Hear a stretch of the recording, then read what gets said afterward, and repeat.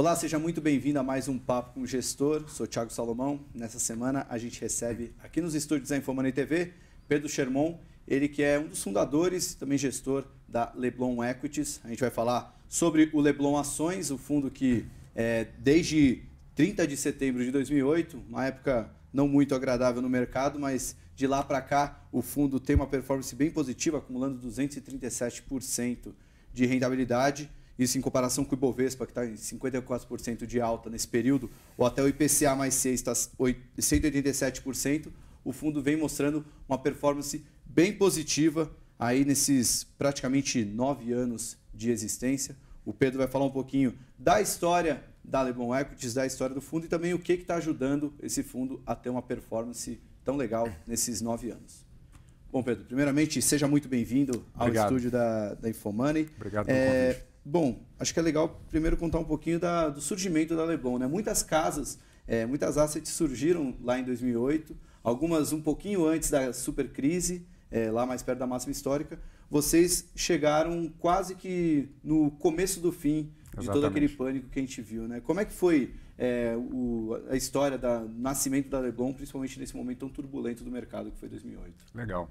Bom, eu trabalho com gestão e análise de ações de companhias abertas no Brasil há 22 anos. Né? Eu comecei em 1995 é, na IP e fiquei lá por 13 anos, sendo que de 2000 a 2008 eu fui gestor do fundo IP Participações. Uhum. No ano de 2008, eu e um dos meus sócios na IP, é, que estava mais envolvido nas operações de private equity que a IP fazia naquele momento, é, decidimos sair da IP para fundar a Leblon Equity, juntamente com Marcelo Mesquita e Bruno Pereira, que eram analista e estrategista do banco UBS Pactual naquela época. E a ideia foi montar uh, uma gestora que fosse 100% focada em ações de companhias abertas e fechadas uh, no Brasil e só fizesse isso. Quer dizer, a gente entendia que o primeiro diferencial que a gente poderia criar na empresa seria o foco absoluto no mercado de ações, o o foco absoluto uh, no Brasil, como uma forma de você criar algum diferencial. A gente se propôs a criar uma equipe bastante experiente também, porque para fazer análise de empresas abertas e fechadas você precisa ter uma equipe numerosa e experiente. E a gente seguiu, é, desde setembro de 2008, a mesma filosofia de investimentos que nós, analistas e gestores da Leblon, seguimos há 20 anos, que é investir com horizonte de longo prazo, a partir dos fundamentos da análise é, fundamentalista bottom-up. Em algumas empresas, em alguns investimentos, a gente faz o que a gente chama de ativismo colaborativo, quer dizer, vai para conselho de administração, vai para conselho fiscal, vai para conselho consultivo de algumas empresas que compõem a nossa carteira, com a visão de tentar colaborar é, de alguma forma para que essas empresas gerem e, e distribuam valor para os acionistas aí, a, ao longo do tempo. Quer dizer, hoje nós somos 15 pessoas, sendo sete sócios, continuamos fazendo só Brasil e só ações. Legal, muito bom. É legal essa maneira de esse ativismo colaborativo que é algo que surgiu, é, hoje tem ganhado mais força, mas tiveram alguns pioneiros, né? a própria IP, onde você trabalhou antes, a Dynamo também, é uma maneira que acaba ajudando bastante a colaborar no crescimento da empresa. Eu queria saber quais empresas hoje vocês têm alguma participação nesse sentido, se tem alguma empresa que está há muito tempo na carteira do fundo, justamente por vocês terem esse horizonte de longo prazo. Só contar um pouquinho para a gente entender como isso é, se encaixa na prática. Nós já participamos ao longo desses vários anos do conselho de, de administração de mais de 10 companhias abertas brasileiras, que vão desde Grupo Pão de Açúcar, Ponto Frio, Mills, Roça Residencial. É, atualmente a gente participa do conselho de administração da Springs Global, que é uma posição importante do portfólio, uhum. e um dos nossos sócios, o Marcelo Mesquita, ele é conselheiro de administração da Petrobras, indicado pelos acionistas minoritários é, no segundo trimestre de 2016. Petrobras e Springs representam um pouco menos de 20% da nossa carteira. Então, é uma, é uma parcela relevante do nosso fundo investido em duas empresas, onde a gente uh, acredita que tem um conhecimento uh, profundo, não só dos negócios, mas como das pessoas que conduzem os negócios. A coisa mais importante nas empresas são as pessoas. E quando você tem a oportunidade de estar mensalmente com os principais decision makers das empresas que são mais importantes no seu portfólio, acho que isso dá uma segurança e um conhecimento diferente do investidor que está acompanhando um pouco mais a distância. É legal que você citou Springs Global e Petrobras, duas empresas que não costumam aparecer em carteira de fundos. Acho que vai ser bem legal a gente explorar um pouco mais elas. Mas antes, é, vamos falar um pouquinho mais da filosofia de investimento, porque você tem uma história é, já bastante tempo no mercado, os outros sócios que também estão é, na Leblon também. Como é que é o processo de decisão de escolha? Né? Porque a gente vê, tem uma Petrobras, tem uma Springs Global, empresas que não são tão queridas assim por é, velho investors, investidores de fundos de ações. Então, como é que é esse processo para escolher as ações da carteira? A gente é bastante é, agnóstico em relação ao tamanho da empresa que a gente pode investir ou não e até é, a qualidade percebida né, da, da, da, da, governança dessa empresa. Quer dizer, se a equação, qualidade do negócio, qualidade das pessoas, né, é, qualidade do, do, do, setor em que a empresa, ou economics do setor em que a empresa está inserido, né, preço, valuation e governança, isso é uma equação que tem cinco variáveis. E dependendo da combinação dessas variáveis, eu posso ter Petrobras como a principal posição do fundo, que é uma empresa estatal, é, cuja gestão e governança nos 15 anos findos em 2016 foi desastrosa. Né? Uhum. É, por isso até a gente não tinha essa empresa na carteira até o segundo trimestre de 2016. Ou uma small cap, como é o caso de Springs, ou uma empresa que é muito mais comum na carteira dos nossos competidores, como uma loja Renner, por exemplo, uhum. que é uma das duas empresas que faz parte do nosso portfólio desde o início em 2008. Então nós somos acionistas de lojas Renner desde 30 de setembro de 2008 e ela é a terceira principal contribuição para a nossa performance desde o início. Springs é outra empresa que está no nosso portfólio também desde o início com, com tamanhos variados. Hoje a gestão do fundo é dividida entre quatro sócios é, relevantes, eu, Marcelo Mesquita, Marcelo Aguiar e Bruno Pereira. A gente se reúne formalmente toda semana para discutir as posições. E cada um de nós, quatro, se especializou ao longo do tempo em determinados setores. Então eu acompanhei muito varejo, consumo, é, educação e serviços a minha vida toda. Já participei do conselho também de várias empresas de, desses, desses segmentos. O Marcelo Mesquita ele é especialista em óleo e gás, quer dizer, tanto é que foi reconhecido pelos minoritários da Petrobras para ser o indicado deles para o conselho. O Marcelo Aguiar é especialista em commodities, uh, industrials e, e, no, e no agronegócio.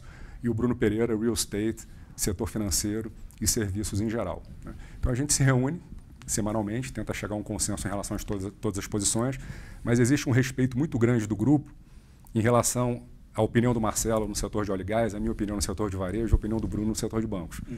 Né? Dado que temos experiências parecidas e cada um de nós focou num setor é, mais do que o outro ao longo do tempo, então a decisão é bem compartilhada né, no final da história. E acaba gerando, de vez em quando, algum debate um pouco mais, vamos dizer, o Marcelo Mesquita, que acompanha bem de perto o óleo e gás, é, acaba tendo alguma defesa maior por conhecer mais o case? Como é que funciona assim na hora de debater com um cara que é tão especialista e você que não acompanha tão de perto? É, os debates às vezes são, são longos, né? em alguns casos calorosos, né? Eu acho que um exemplo, um exemplo legal é, foi o nosso debate no setor é, bancário recentemente, né, tanto em 2017 quanto em 2016. Nós fomos acionistas de Itaúsa de 2008 até o final de 2015 começo de 2016. É, eu gostava muito da posição, Marcelo Mesquita também, Marcelo Aguiar também gostava muito da posição, e o especialista, que era o Bruno Pereira, não via mais upside naquele momento. Ele estava bastante convencido é, dessa tese e começou a fazer o call que talvez fosse o momento de ter Banco do Brasil, dada a grande mudança estrutural que estava acontecendo. Quer dizer, houve mudança no acionista controlador, né, com, uhum. com, o impeachment da Dilma e, o, e, o, e, a equipe do Temer assumindo. O novo acionista controlador formou um novo conselho de administração, é, com pessoas é, talvez mais capacitadas do que o anterior. Houve mudança na diretoria e houve mudança na lei das estatais no Brasil, que hoje proíbe indicação de políticos para a diretoria e para conselho de administração das empresas enquanto houve toda essa mudança fundamental, a gente conseguia acompanhar pelas nossas investidas de private equity a mudança na postura do Banco do Brasil no momento de conceder o crédito para as empresas. Né? Então não existia mais diferença entre você tentar tomar dinheiro emprestado no Banco do Brasil quando você comparava com o Itaú e com o Bradesco. Os critérios eram 100% técnicos, né, restritivos. Então ele, a gente percebia no dia a dia que o banco efetivamente estava mudando né, e estava se comportando cada vez mais como uma instituição que visa maximizar lucro e não necessariamente expandir crédito para é, a serviço de uma agenda do governo de expandir crédito. Né. Naquele momento, o Banco do Brasil negociava menos de uma vez o valor patrimonial, Itaú e Bradesco próximo de duas vezes o valor patrimonial. Né? E o, a diferença de rentabilidade patrimonial que a gente imaginava para os próximos três anos não seria a mesma da verificada nos últimos 5, 10 anos e que justificava aquele prêmio. Então a gente trocou toda a nossa posição de Itaúsa por Banco do Brasil, se tornou uma das cinco principais posições do fundo, depois de algumas reuniões de debates mais acalorados, onde a gente foi convencido pelo Bruno que o diferencial de rentabilidade patrimonial dos bancos é, públicos, no caso do Banco do Brasil, e os privados nos próximos 3, 5 anos no Brasil, não deve ser superior a 3, 4 pontos percentuais. Não é nada que justifique um prêmio tão grande em termos de price to book, a gente mudou, uhum. né? convencido por um em um grupo de quatro. Né? Ainda Mas bem que deu certo, né? Ainda Senão... bem que deu certo. Mas é importante, então, acho que, é, acho que esse respeito mútuo e todo mundo testando a ideia do outro ali o tempo todo e, e com respeito e com essa divisão setorial. Né? Então tem funcionado bem. Legal, muito bom. É, bom, vamos entrar um pouquinho no, nos cases. É, acho que é legal falar é, tanto de Petrobras como de Springs Global, mas também poder falar de alguns outros cases do fundo, mas esses dois especificamente, como você já citou como exemplos, uhum. É, o racional do investimento tanto em Petrobras, ser muito mais é, a chegada do parente tentando arrumar toda a casa, toda essa mudança que você falou do acionista controlador, uhum. ou se tem um pouquinho de cenário macro também com o preço do petróleo, e falar um pouquinho do case de Springs Global que não é tão conhecido assim no mercado. Tá. O, o que nos motivou a fazer a, a, posição em Petrobras foi a mesma motivação inicial do caso Banco do Brasil: mudança no controlador, mudança no conselho, mudança na diretoria, uhum. lei das estatais e a percepção, no caso de Petrobras, ainda mais forte da qualidade da nova administração, dado que a gente está no conselho de administração é, da empresa. O nosso call ele não é baseado em nada na visão macro de preço de petróleo no longo prazo. Quer dizer, a gente costuma dizer que a gente não tem vantagem competitiva nenhuma para projetar as variáveis macroeconômicas. Então, a gente olha o que é consenso de mercado e tenta ver o impacto de uma eventual discrepância do consenso em relação à realidade vai ter nos nossos investimentos. Então, eu faço investment case de Petrobras numa base bottom-up, né, com a curva do petróleo atual. Se o petróleo for 10% acima ou 10% abaixo, como isso impacta a minha decisão de investimento? É muito mais gestão de riscos do que drive Sim. de investimento.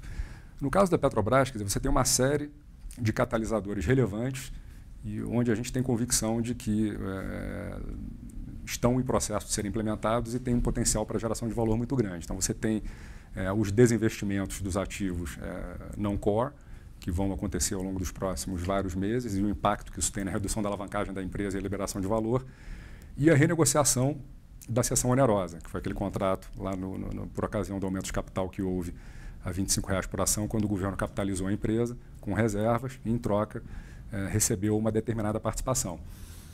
Como naquele momento não é, era impossível você prever qual seria o preço do petróleo e a efetiva produtividade dos campos que foram transferidos da União para a empresa, foi combinado o seguinte no contrato. Isso não precisa é, ter nenhuma informação que, que não é pública né, para concluir isso. Né? Você tem um contrato de cessão onerosa feito em 2010 que foi divulgado ao público. Uhum. E o contrato prevê claramente que depois de cinco anos as variáveis seriam revistas, então seria revisto o preço do petróleo, seria revista a produtividade dos campos e teria um ajuste por um lado ou para o outro.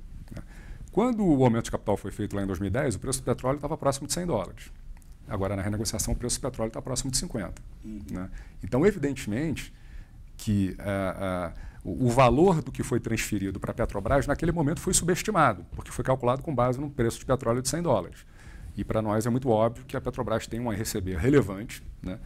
É, com, a, com, a, com, esse ajuste no contrato de cessão onerosa, basicamente porque o preço do petróleo caiu a metade, então o valor desses ativos ele cai quase que na mesma proporção, embora os campos sejam mais produtivos também do que se achava lá atrás.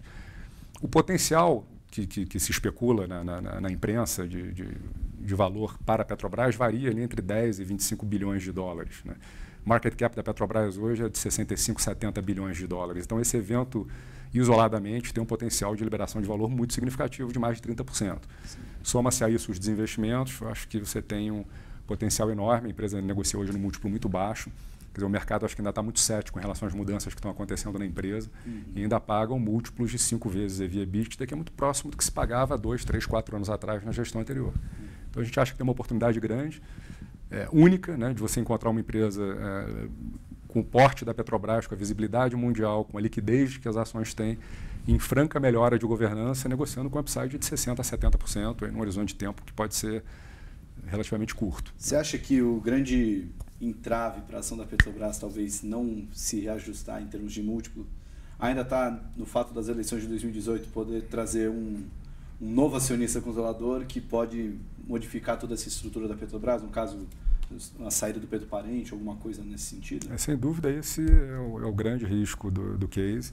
A gente, ah, apesar desse risco, acredita que a assimetria é muito grande a favor de se manter as ações, quer dizer, por dois motivos. Quer dizer, primeiro que o cenário de continuidade da gestão atual, sem entrar no mérito de quem vai ser o próximo presidente, até porque a gente não tem nenhuma visão educada. Então, nas nossas contas, a gente atribui 50% de probabilidade para que o próximo presidente seja alguém pró-business e 50% de probabilidade para que seja alguém que vai ter uma agenda que seria um retrocesso. Uhum. No cenário eleição favorável, eu acho que não é difícil a gente ver Petrobras dobrando de preço nos próximos 18 meses, né, num período de tempo relativamente curto. No cenário outcome mais desfavorável para a Petrobras, qual seria o preço justo de negociação desse ativo daqui a dois anos? Né? Então a gente faz um exercício que é o seguinte: vários desses ganhos que eu mencionei aqui, sessão onerosa e desinvestimentos, vão ser consolidados ainda dentro desse mandato, com uma probabilidade muito alta. Né? Uhum.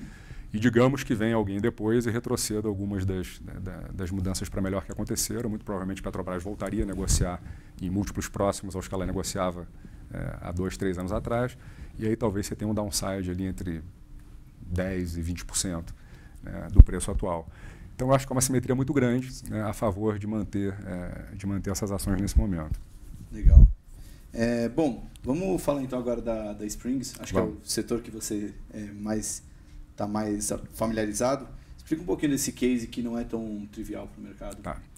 O nosso investimento ele começou pequenininho lá em 2008 e no final de 2011, começo de 2012, a gente aumentou significativamente a nossa exposição à empresa. Na época, a Springs estava fazendo uma reorganização societária e nós nos propusemos a, a, participar da estruturação dessa reorganização societária e participar do aumento de capital que a empresa precisava na época para readequar o, o seu balanço à necessidade lá do negócio. Como nós fomos um dos principais subscritores daquele aumento de capital, nós negociamos com a empresa grande parte da reorganização societária que, que aconteceu naquele momento. Uhum. Inclusive a reorientação do negócio, que era basicamente um negócio que tinha uma presença muito grande é, nos Estados Unidos. Né? A, a operação americana na época era maior do que a operação brasileira. A empresa era uma grande plataforma exportadora, mas começava a perder competitividade na exportação porque a moeda brasileira ela estava avançando. Então, o nosso plano de negócios era fazer um movimento parecido com o que a Ering fez há 10 anos atrás. A Ering era uma empresa eminentemente industrial que fez um processo de integração com o varejo. Hoje ela tem mais de 500 lojas e é quase que uma indústria 100% integrada com o varejo dela. E a ideia, dado que a Springs é detentora das principais marcas de cama, mesa e banho do Brasil, Artex, Martin, Santista, Casa Moisés, quer dizer, ela tem 50% de market share dos produtos de cama, mesa e banho brasileiras. Inicialmente só como uma produtora dona de marcas, e o plano, a partir de 2011 2012, era criar uma grande cadeia de varejos para que ela fosse 100% integrada e dependesse menos da exportação, dado o cenário novo de câmbio, e menos é, do mercado americano. Esse processo começou a ser implementado com o lançamento das lojas Artex. É, o início foi mais difícil do que a empresa esperava e a ação se desvalorizou, inclusive prejudicou a nossa performance em 2013 2014. O início ali da, das lojas Artex não foi é, muito bem executado porque ele foi muito rápido. A empresa abriu 50 lojas em seis meses. Isso é um uhum. ritmo que varejista de 30, 40 anos de história demora, às vezes, para chegar nesse ritmo de abertura de lojas. Eles se propuseram a começar muito rápido, alguns erros foram cometidos e isso atrasou um pouco o processo. Mas em todo esse período, o negócio principal da empresa, que é a venda de produtos de consumo com marcas é, fortes para o atacado no Brasil, para clientes como casas pernambucanas, lojas americanas e, e todos os varejistas de cama, mesa e banho, é um negócio que sempre foi indo muito bem. Pra você ter uma ideia, ela tinha, há 10 anos atrás, pouco mais de 20% de market share no Brasil, hoje ela tem 50%. É, a Springs ela tem potencial para ser o que a Ambev é no mercado de cervejas no Brasil, o que a Souza Cruz é no de cigarro, quer dizer, ter 60%, 70% de market share, dado a vantagem que ela tem para os competidores dela.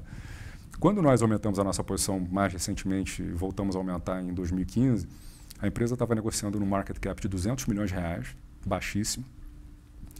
Uma empresa que faturava 2 bi e tinha, na época, fazia um EBITDA de 200 milhões de reais também, mais ou menos, e tinha uma dívida líquida de 800. Né? Então, era uma empresa que estava alavancada, quatro vezes EBITDA, mas negociava é numa fração muito pequena né, do potencial dela, caso ela conseguisse implementar o projeto do varejo e continuasse ganhando market share no negócio de atacado.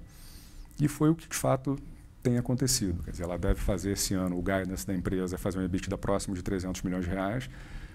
Ela vem conseguindo manter a dívida constante em termos nominais, então a alavancagem medida pelo múltiplo dívida EBITDA vem reduzindo. Né? Ela ainda negocia no múltiplo baixo, ela negocia menos de seis vezes EBITDA para 2017. Pra você ter uma ideia, a loja Renner hoje negocia para 2017 a 18 vezes, né? a Arezo a 17 vezes. É evidente que não é 100% comparável, mas é uma distância muito grande. Né? Boas empresas de consumo já estão negociando entre 8 e 10 vezes. Né? Então, ela negocia ainda com desconto muito grande em relação de um passado onde ela não performou bem. Né? Eu acho que daí um pouco a resistência de vários grandes investidores a investir nas ações da empresa. Quer dizer, foi uma empresa que, que deu prejuízo para quem investiu nela ali de 2008 até 2013 e 2014. Mas a parte operacional vem muito bem e já há muito tempo. Né? E a ação agora finalmente está começando a, a refletir isso. A gente acha que ainda tem um upside é, importante dado esse múltiplo baixo e dada a continuidade aí da, da melhora do negócio dela. Uhum. Legal. Bom, para finalizar, Pedro, é, sua visão para o mercado em geral. Né? Eu sei que vocês têm uma visão bem mais uhum. é, de escolher um ativo interessante, mas estamos vivendo um momento bom no mercado. Né? Renovamos nossa máxima histórica, se bem que agora, comecinho de novembro, as coisas não estão andando tão bem com toda a discussão da reforma da Previdência, mas o mercado está numa fase bem diferente do que a gente viu, sei lá, 18 meses atrás, quando né, parecia que não tinha futuro investimento em renda variável.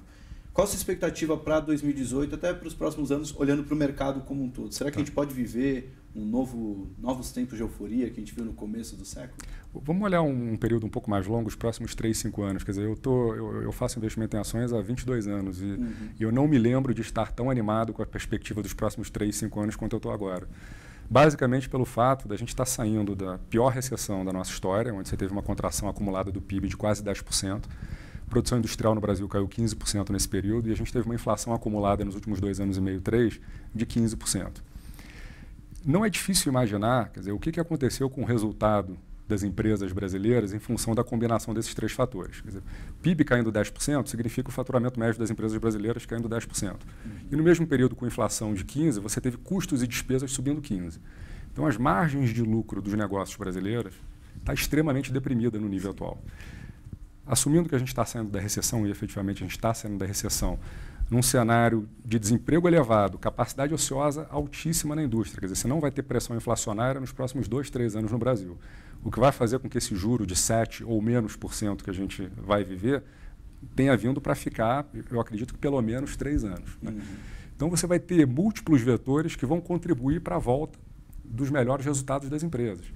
Então a gente fez um exercício no, no escritório, quer dizer, uma empresa, quer dizer, só o impacto da Selic no lucro de uma empresa que tinha 10% de margem operacional no, no ano passado, né, quando a Selic estava 14%, Quer dizer, essa mesma empresa, se ela mantiver os 10% de margem operacional, com a Selic indo para 7%, o lucro dela sobe 60%. Né? E, o, e não tem nenhuma assumption aqui. Vai acontecer, isso é um dado do problema. Né? Então você tem, pras, e essa empresa assumindo que ela é três vezes é, alavancada é, em termos de net debt EBITDA. Uhum. Isso só pelo lado da desalavancagem financeira. Né? E aí você tem toda a parte de alavancagem operacional. Quer dizer, você tem empresas hoje, quer é um exemplo no nosso portfólio, que opera a menos de 70% da capacidade. Com uma retomada na demanda, ela consegue crescer 20%, 30% em volume sem investir um centavo. A capacidade está lá. Né? Então, tem um impacto na geração de caixa muito forte. E quando a gente olha o, o, os múltiplos de negociação hoje, dizer, tem muita gente que olha, não, mas os PLs já estão um pouquinho acima da média histórica, o EV EBITDA está um pouquinho acima da média histórica, de fato, os múltiplos já estão um pouquinho acima da média histórica. Mas a gente acha que os lucros estão a um quarto do que eles podem ser Sim. daqui a dois, três, quatro, cinco anos. Até porque quando você tem crise, nenhuma empresa fica parada. Né? Todo mundo, para sobreviver, é, corta o, o, quadro de pessoal, fecha lojas que não são deficitárias, é, contrata consultorias para melhorar a performance do negócio. Quer dizer, todas as empresas, eu imagino que as empresas brasileiras hoje que sobreviveram, elas estão muito mais preparadas do que estavam há três anos atrás. E aí você vê uma retomada de demanda, eu acho que você tem um potencial muito grande, como a gente já viu em vários outros momentos no Brasil. Quer dizer, a Bolsa Brasileira tem um histórico de valorizações de 10 vezes, 15 vezes, 20 vezes hum. né, em ciclos de apreciação. A gente pode estar no começo do próximo. Em outras palavras, o lucro histórico dessas empresas não necessariamente reflete o, o que vai ser o lucro futuro. Sem né? dúvida. Eu acho que a Bolsa. que sobreviveram estão bem mais é, ajeitadinhas, em, tanto em sentido de eficiência quanto do lado operacional, né? se aproveitando dessa, dessa alavancagem operacional que você citou. Né? Eu acho que a Bolsa pode triplicar de valor nos próximos 4, 5 anos, sem que você tenha uma expansão dos múltiplos que, de negociação que a gente tem hoje. Você acha que, o, o olhando, a gente sabe que eleições pode ser um grande risco para isso, mas Estados Unidos podem estragar essa festa com é, uma alta de juros é, mais rápido que o mercado espera. A gente está vendo a inflação lá bem controlada, uhum. mas se de repente, ao invés de vir uma ou duas altas ano que vem, vier três ou quatro, você acha que essa, essa super euforia do mercado pode ser postergada? Eu acho que isso, de certa forma, já está, é, de certa forma, precificado. Isso é esperado há vários anos, que algum dia o, o juro é, americano vai voltar para um patamar mais neutro. É, não acredito nisso como algo que vá é, é, inviabilizar esse movimento de, de, recuperação do preço dos ativos brasileiros. É evidente que se tiver uma crise maior globalmente, isso nos prejudicaria um pouco. Uhum. Mas, no fundo, seria muito mais um amortecimento desse nosso, desse nosso movimento de alta do que algo que vai reverter. A gente está o, nosso ciclo econômico está completamente descasado e desconectado do ciclo econômico é, dos países desenvolvidos. Quer dizer, o Brasil hoje é os Estados Unidos de 2009. Né? A gente está saindo de um problema colossal, começando a sair. Eles já estão há, há 10 anos nesse processo de recuperação que fez com que as bolsas lá multiplicassem por 5, o Nasdaq multiplicou por 5, o Dow multiplicou por 4. Uma economia muito mais previsível, menos volátil, quer dizer, você imagina o potencial é, do Brasil, né? se ele não perder mais uma grande oportunidade é, é, aí nos próximos anos. Né? Então, eu acho que a beleza da gente estar tá com o nosso ciclo descasado do, do ciclo de lá é, é, esse. Eu acho que mesmo que, que o mercado né, nos países desenvolvidos é, perca a pujança atual, eu acho que isso no máximo amortece a nossa valorização, não reverte o movimento. Né? Tá certo. Bom, muito obrigado, Pedro, pelo papo. Parabéns pelo sucesso do fundo obrigado. Leblon Ações. Para quem quiser saber mais do fundo, Está lá na plataforma de investimentos da XP, é só acessar lá para você que é cliente. Está lá o fundo Leblon Ações, que está com 237% de rentabilidade nesses quase nove anos de história. Muito obrigado pela audiência e mais um Papo com o Gestor e a gente se vê na semana que vem. Tchau.